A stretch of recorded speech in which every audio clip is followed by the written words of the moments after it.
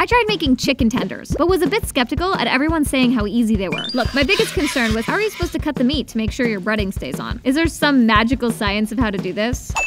Which is why this time I'm double dipping it. Although, let's be real, the oil still scares me. Oh god. Ah! At least we know that will stay consistent forever, as long as the chickens stop being such wallflowers. I'm actually impressed these aren't falling apart. These are good tendies.